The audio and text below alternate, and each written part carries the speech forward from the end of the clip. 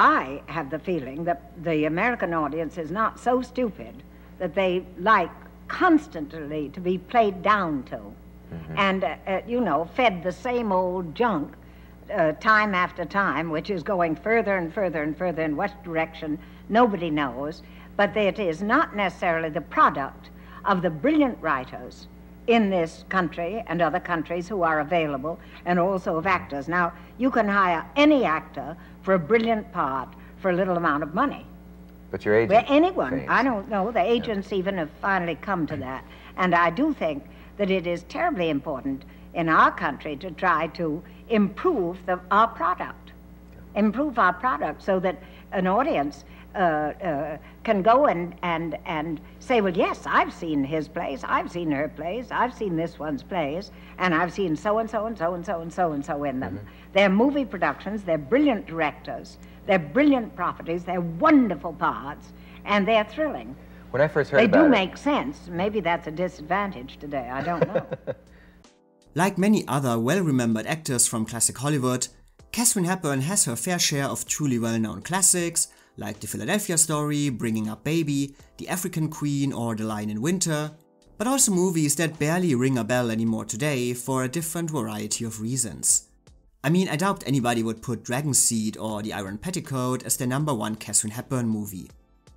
And then of course there's everything in between, from smaller classics like Summertime or Alice Adams, to all her Spencer Tracy collaborations like Woman of the Year and Adam's Rib, and movies that are, quite frankly, mostly remembered because they brought her an Oscar nomination for Best Actress. Otherwise pictures like Morning Glory or The Rainmaker would most likely land on the forgotten list. And what about Long Day's Journey into Night? This one seems to defy any of the mentioned categories. It is another picture that only got one Oscar nomination for Best Actress, but it is also based on one of the most celebrated plays of the 20th century, remembered by director Sidney Lumet as his personal favorite and often cited as one of Hollywood's best Broadway adaptations. So you can say it's a small, more private classic of Katharine Hepburn, one that maybe not all her fans have heard of, but still a movie with a distinct following, offering Katharine Hepburn one of the most challenging roles in theatre history that would later bring Tony Awards to both Vanessa Redgrave and Jessica Lange. And it's also a part that came to Katharine Hepburn at a time of great personal pain, and her private life would influence her work on the screen to a degree that it never had before. So let's talk about how the paths of Hollywood giant and theatre giant met in 1962. When Eugene O'Neill started working on Long Day's Journey into Night, he had already received various Pulitzer Prizes and the Nobel Prize for Literature for his dark and complex plays, presenting families on the brink of sanity and characters fallen from grace in a usual tragic and almost hopeless tone. But even within this woeful body of work, Long Day's Journey into Night was painfully different. A play that did not focus on the tragedies of just any family, but Eugene O'Neill's very own. His father James, a talented actor who suffered all his life from what he considered wasting his talents in popular plays, such as The Count of Monte Cristo, which he did more than 6,000 times to financially support his family. His elder brother James Jr., who drank himself to death, always blamed for indirectly causing the death of the O'Neill's second son when he infected him with measles at the age of 18 months. Then Eugene O'Neill himself, the poet born to replace the brother who died. And his mother, addicted to morphine for more than two decades, after she had been given the drug to relieve her from the pains of giving birth. In 1939, O'Neill would begin to write down the haunting memories of his father, mother and brother, who all died within four years between 1920 and 1923 in a play that broke down the difficult relationships over a single day and night, and the O'Neills became the Tyrones, a family held together and drawn apart. Mother versus father, brother versus brother, sons versus parents. After completing his play in 1941, O'Neill said about these characters, At the final curtain, there they still are, trapped within each other by the past, each guilty and at the same time innocent, scorning, loving, pitying each other, understanding and yet not understanding at all, forgiving but still doomed never to be able to forget. Due to its personal nature, O'Neill would only permit his closest friends to read the play or even know about its existence. Otherwise, he stated in his testament that it should only be published 25 years after his death and never be produced as a play. However, after he died in 1953, his widow Carlotta Monterey would, for reasons still unknown today, oppose his final wish and publish it in 1955. As you can imagine, the surprise of a posthumous play by one of America's greatest playwrights electrified artistic communities around the world. Especially because Long Day's Journey into Night was not just any play, but almost immediately hailed as one of the greatest pieces of American literature. While the work of Tennessee Williams was more and more criticized and even ridiculed towards his later years, O'Neill was praised for having astonished the world from beyond the grave with the best play of his career and critics would call O'Neill the world's last dramatist of the stature of William Shakespeare. The play version premiered in Sweden in 1956 in front of an audience that included the Swedish king and queen, and the evening was called the greatest theatrical event of the 20th century.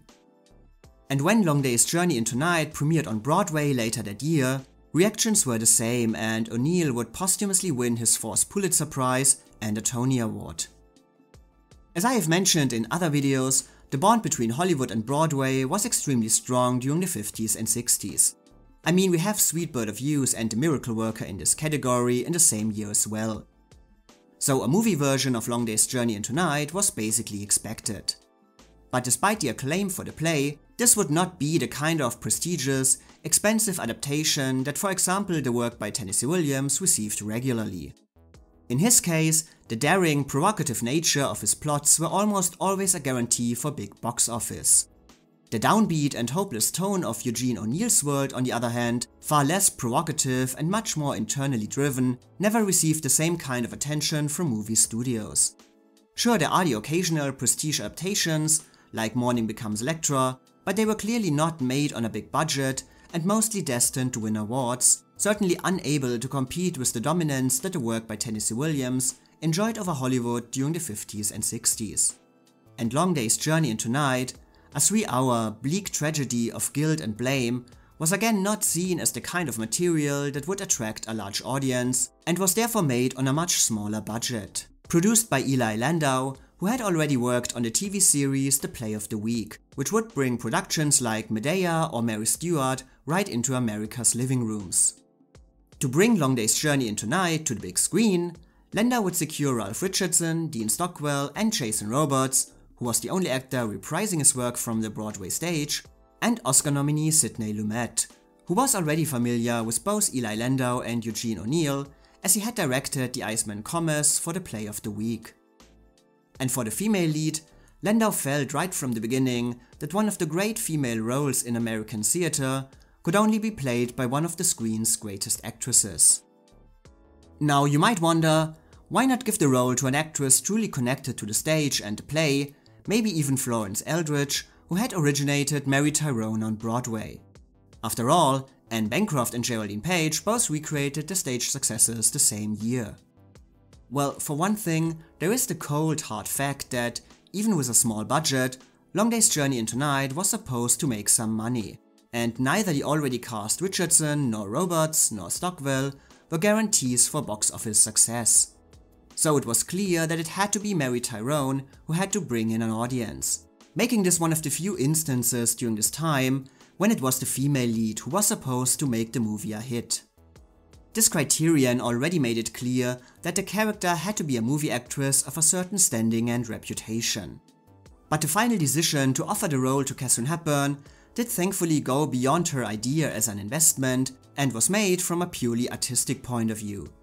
Because first of all, she was clearly interested in roles that originated on the stage and often gave an actress more opportunities and challenges. In fact, four of her last five movies, Summertime, The Rainmaker, Desk Set and Suddenly Last Summer, were all based on Broadway and off-Broadway plays. And beyond that, Katharine Hepburn was not only interested in adaptations of stage material, but in the stage itself as well, gaining her a strong reputation as one of the few actresses of her age and longevity still willing to challenge herself and develop as a performer even after more than 20 years in the business. After her appearance in Desk Set in 1957, Katharine Hepburn even took a risk that many established performers like her most likely would not have dared to. Doing Shakespeare, appearing in The Merchant of Venice, as Viola in Twelfth Night, as Beatrice in Much Ado About Nothing, and in Antony and Cleopatra at the Shakespeare Festival in Stratford, Connecticut. Reviews for her performances were definitely mixed, some downright negative, but she still earned a lot of admiration for her willingness to tackle this material and prove herself as an actress when most thought she had already proven more than enough. Doing those classical roles was not what most people expected of me. The reviews were sometimes mixed, sometimes raves, but it gave me real satisfaction, sort of a seal of approval. As an actress, you might say, yes, I needed that. Most actors do. I think, what the hell, don't we all? For producer Ely Landau and director Sidney Lumet, Katharine Hepburn was therefore the ideal choice for the role of Mary Tyrone right from the beginning. Lumet would describe the casting of such a living legend as perfect, because when Mary Tyrone falls, it's got to be like a giant oak falling. When Landau reached out to Katharine Hepburn with the offer, she was, as expected, highly interested in what she considered one of the greatest female roles ever written, especially after Landau assured her that the movie would stick very closely to the source material which was actually a necessity because Carlotta Monterey demanded that all productions of her deceased husband's play would have to stick very closely to his original writing, meaning that Landau was not allowed to make any big changes for the screen version. For Kate, it was therefore clear that Landau's Long Day's Journey into Night would bring her as close to the original Broadway production as possible, giving her the character of Mary with all her flaws, terrors, but also endless opportunities which was the main thing she wanted for the project. Landau had at first been worried that the small budget might cause Kate to reject the role, she would receive $25,000 for the movie compared to $175 for her last picture suddenly last summer, but she was in a comfortable position that she could choose projects only based on her interest and not any financial pressure, saying, The only time I've ever really kicked myself is when I've done something I didn't want to do, just because of the money involved. Well, we worked very long hours, a very long play, very hard play for her, and indeed for me, I played the husband, very long parts. And the studio we played in, in New York was a very small studio, very tiny little studio. And well, there weren't any, really any proper dressing rooms. So we had little tents made on the side of the set, and there we used to huh, sit and gasp. And you did one at a price that your agent must have fainted dead no, away. No, no, no. no. Well, I've that's not unusual for me. I've done. I, uh, uh, if it interests you, they don't need to pay you. It's a fascinating business anyway. It's very nice to be paid, but when you do uh, thrilling material, it's like buying a piece of furniture that's really good. When you buy it and it's great, you get enormous pleasure out of seeing it, and you never remember how much it costs. So this was definitely the kind of project that had the power to bring Katharine Hepburn back to the screen after three year absence. But the actress still hesitated about accepting the part of Mary. Not because of any artistic differences or self-doubt that she might not be up to play such a challenging part, but because of very painful problems in her personal life. As she remembered, the two men in my life I loved were dying. By 1962, the health of Katharine Hepburn's longtime partner Spencer Tracy had gotten worse and worse. He developed ulcers and skin cancer, was chronically exhausted, but would also continue to drink heavily, causing his kidneys to slowly fail as well. For Katharine Hepburn, retiring from the screen after Suddenly Last Summer was therefore a step not only influenced by her interest in stage work or the fact that the shooting of the movie which famously ended with her spitting into either the face of director Joseph Mankiewicz or producer Sam Spiegel, or even both of them, made her lose interest in more movie projects for the time, but also by her decision to focus her energy on supporting Spencer Tracy, using her own influence to get him work and taking care of him during the shootings. Spence felt guilty about my having taken time away from my career to be with him. I think he overestimated the status of my career at the moment, I don't think I would have been buried under a landslide of fabulous parts. Our mailman wasn't bent under the weight of great scripts arriving for me. I didn't care. I was where I wanted to be, doing what I wanted to do. Was this the only man you were really in love with? I would say so. Here you are and were one of the most independent women, and yet you write that if Spencer Tracy disliked something about you, some quality, some Yes. aspect of your appearance, you would change. Yes. What happened to the independence? You who represent independence. If he didn't like it, you change. Yeah. If He didn't said, I don't like this outfit. Please put on a skirt and high heels. Yes, I would have. But he wasn't that silly. What were the qualities that he didn't like that he wanted you to change? Do you remember? Oh, the obvious ones, you know, that I'm rather loud. I speak up instead of down. And th- some of the things that I like to do, he didn't like to do. One of the projects Katharine Hepburn rejected during this period was to appear in the role of Hannah in Tennessee Williams' The Night of the Iguana on Broadway. Williams had written the part specifically for Katharine, but she continued to put most of her energy on caring for Spencer Tracy, appearing on the stage occasionally, but unwilling to commit herself to a possibly year-long Broadway run. Kate also convinced Spencer Tracy to do Judgment at Nuremberg in 1961 and accompanied him to Germany for on-location shooting, but after he completed the movie, his health would take another dramatic turn for the worse, and apart from narrating how the West was won, he would only appear in two more movies before he died in 1967.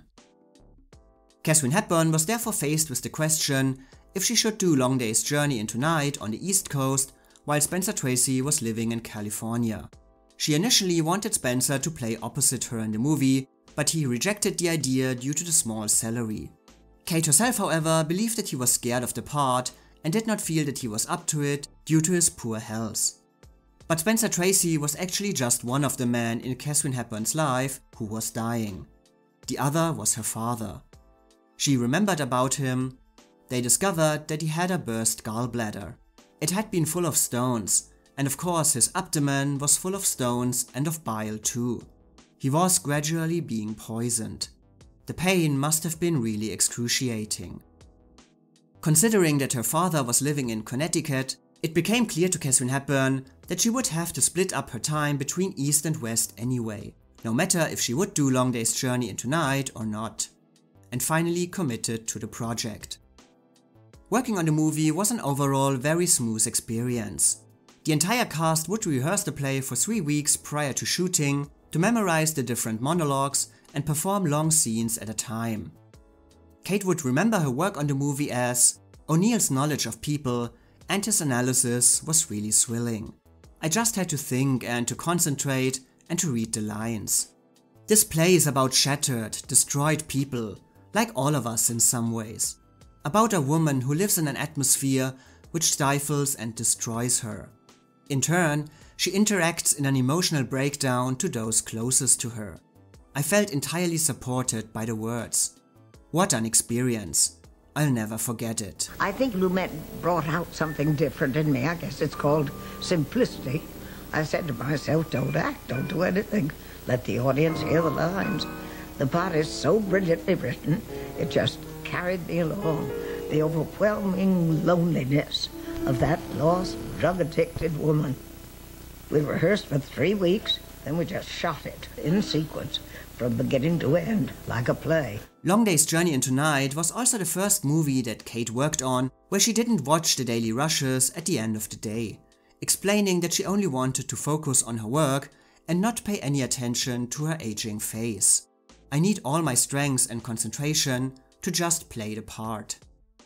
Director Sidney Lumet became a great admirer of Katharine Hepburn during the shooting, applauding both her strong on-screen personality but also the delicacy of her performance, calling her magnificent and explaining the work with her was thrilling.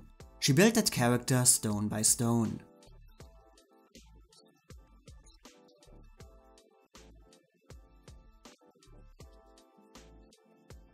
But of course, working on Long Day's Journey into Night was also extremely difficult for Katharine Hepburn as she balanced her work with the care for both her father and Spencer Tracy. I would leave Friday after we finished filming in New York and drive to my father in Connecticut. My father was dying a prolonged and horrible death over many months, and there was no hope of his getting better, only the knowledge that he would be worse. At the same time, Spencer wasn't well at all. I was told his health was deteriorating rapidly. So Saturday, after I had been with my father, I frequently flew to spend some time with Spencer and I left Sunday to be back on set. Few people know what they mean when they say, I love you. What did those words mean to you? Well, the, the word, what does the word love mean? It means total interest.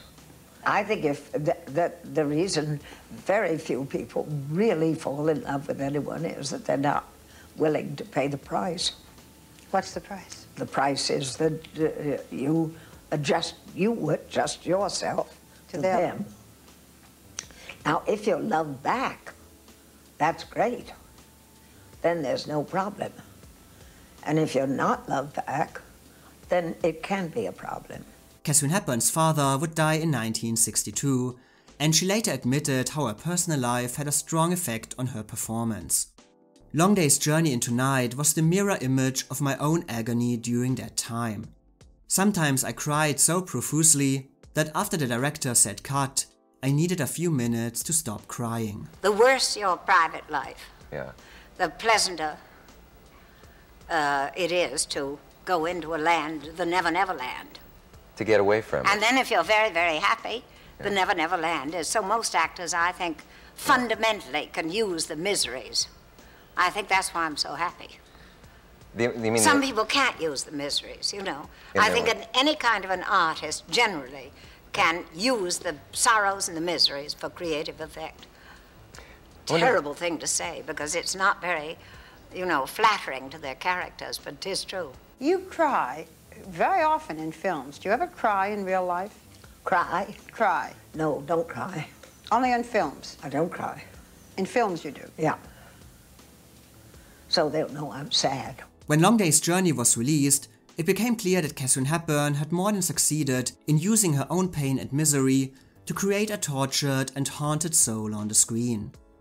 Critics called her portrayal fascinating and a piece of art, and she was praised for being the best member of the cast and shifting the focus of the play from the character of the father to the role of Mary, and quite simply for having given the greatest performance in a career full of great performances.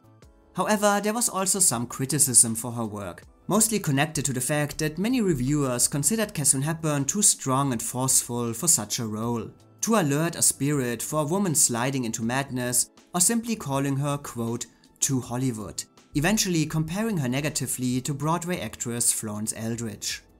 As expected, despite the star power of Katharine Hepburn, the movie was also not a financial success. The studio behind Long Day's Journey into Night would ultimately cut 40 minutes, but it was still an almost 3 hour, depressive display of a family experiencing a nervous breakdown. So not the kind of movie likely to attract viewers looking for some distraction on a Saturday evening. Besides, Long Day's Journey into Night was also a victim of bad timing. It was initially selected as the US entry for the 1962 Cannes Film Festival, together with John Frankenheimer's All Fall Down, and would win acting awards for the entire cast, but it was not released in the US until the end of 1962 in a specifically built theater in New York City. Buzz from Cannes had certainly died down by then, but far worse, the premiere would overlap with one of the biggest newspaper strikes in New York history. The movie therefore received little critical attention during its release, making movie theaters even more hesitant about it. I mean, showing a 3 hour tragedy is one thing, but showing a 3 hour tragedy with hardly any critical support in the press? Most of the reviews, including the ones about Katharine Hepburn I just mentioned, were therefore slowly released during 1963, after the Oscars had already taken place, when Long Day's Journey into Night was opening in more and more theaters across the country. The lack of critical support was also seen as the main reason why only Katharine Hepburn, who certainly benefited from name recognition and excitement about her comeback to the screen after three years in one of the theater's greatest female parts, was nominated for an Oscar and none of her equally praised co-stars. Okay, so let's talk about Katharine's nominated performance now. And well, to begin right away, reviewing this performance is rather an almost epic occasion. Because, to put it simply, Long Day's Journey into Night features not only the greatest performance ever given by Katharine Hepburn, but one of the greatest performances ever given, period. If I can only find. What is it I'm looking for? I know it's something I lost. Mary. No good, Papa. Something I. I miss. Terribly. It feels almost impossible to describe the miracle of Katharine Hepburn's achievements as Mary Tyrone. She has never been so vulnerable and yet so strong, so invisible but so present, so reluctant and yet so determined, so miscast and yet so completely ideal. It makes it so much harder living in this atmosphere of constant suspicion, knowing everyone is spying on me, that none of you believe in me or trust me. That's crazy, Mama. We do trust you. Someplace I could go to get away for a day, or even an afternoon. Some woman friend I could talk to. Not about anything serious, simply laugh and gossip and forget for a while. Miscast might sound like a strong word to use when talking about one of the screen's great performances, but I don't think that critics at the time were completely wrong when they said that the power of Katharine Hepburn is too strong for a woman who has an almost ghost-like presence. Because yes, this strength is visible at every moment, even when Mary is at her lowest, but Katharine Hepburn was somehow able to take this strength and use it for the exact opposite effect, emphasizing the weaknesses of Mary at every moment. And by totally surrendering to the character's demons and horrors, Katharine Hepburn is almost exhausting in her intensity, never giving the audience a single moment of peace, driving Mary further and further away into the darkness of her own mind, without ever giving any reason for hope. You don't understand. I've been so worried, so worried about Edmund. I'm so afraid. I don't want to listen to your excuses, Mary. Excuses. Oh, you, you mean oh, you couldn't believe that of me? You mustn't believe that, James. No. The magnetic presence of Katharine Hepburn maybe outshines everything and everyone around her, but she is still part of an ensemble, never actively dominating the proceedings, and not only wallowing in the misery of her character, going from one big scene to the next, but instead creating a true character, past, present and future. A mother and wife constantly hiding her true intentions and her true feelings about everyone else, while exposing her inner thoughts at every moment for everyone to see. I couldn't possibly eat anything, James. I think you'll have to excuse me. My my hands pain me dreadfully. I think the best thing for me is to go to bed and rest. There is a stern contrast in the work of Katharine Hepburn, survivor from Hollywood's golden age, to the work by British theatre actor Ralph Richardson and the more modern approaches by Jason Robards and Dean Stockwell. All of them excellent by the way and very deserving of Oscar nominations. And the effect can probably best be described as Marlon Brando and Vivien Leigh in A Streetcar Named Desire. The roles, characteristics, intentions and results are certainly very different, but something about Katharine Hepburn's acting style puts her at a natural distance to her co-stars, as she constantly attacks and retreats from their work, a struggle without a clear winner, but always dominated by both Mary Tyrone and Katharine Hepburn, and always in service of the overall plot and structure. And yet it was exactly the same type of cheap quack who first gave you the medicine, and you never knew what it was until it was too late. I hate doctors! For God's sake, Mama, stop talking. Yes, Mary, it's no time to... You're, you're quite right, dear. Forgive me, I'm, I, uh, it's useless to be angry now. Katharine Hepburn had already shown in Suddenly last summer how she could play with dialogue, switching directions in her speech from one moment to the next, adding layer after layer of meaning to her spoken words with a slight change of emphasis or speed, and she would do the same again and even more impressively in Long Day's Journey into Night. So much of Mary, the family, the past, her suffering, her fears, her few moments of happiness, and most of all her regrets, are expressed in long speeches, in denials of accusations, in occasions when Mary feels trapped or suddenly secure, and Katharine Hepburn constantly supports these moments with a devastating vagueness and clarity, emphasizing how the absence of Mary's mind only strengthens her physical directness. And you want me to pay attention to what Dr. Hardy says? Oh, no. Listen, Mama. I'm going to tell you whether you want to hear it or not. I've got to go away to a sanatorium. No!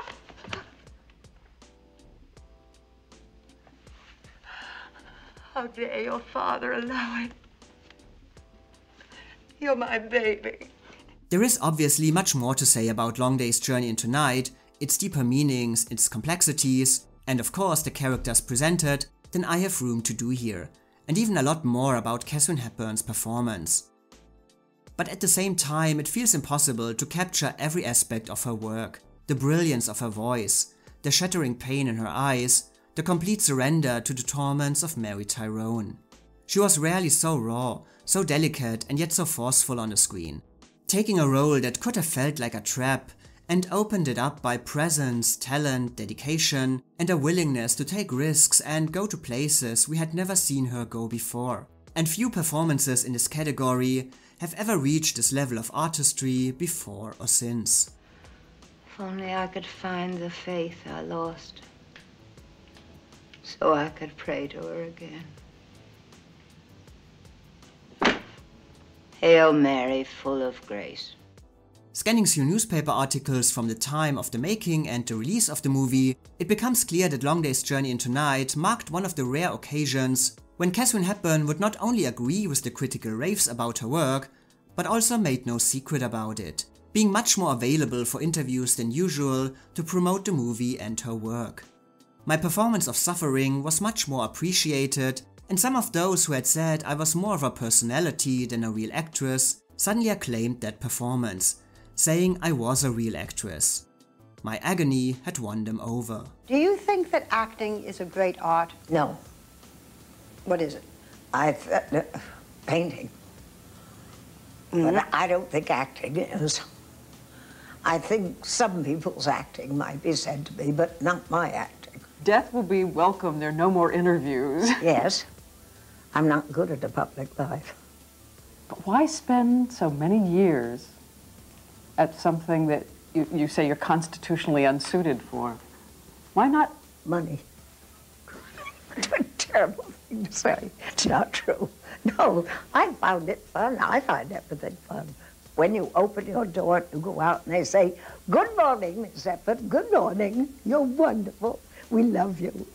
Well, that's very reassuring, isn't it? After being rediscovered as a great performer of tragedies, Katharine Hepburn did not enter into a new phase of her career.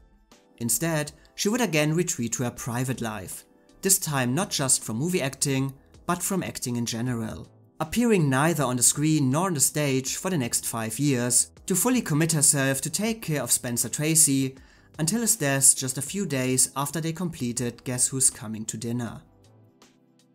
Only then she would begin to act more regularly, not just returning to full form, but entering one of the most successful periods of her career, at an age when most other actresses would hardly find any work at all. But this is a story for another time.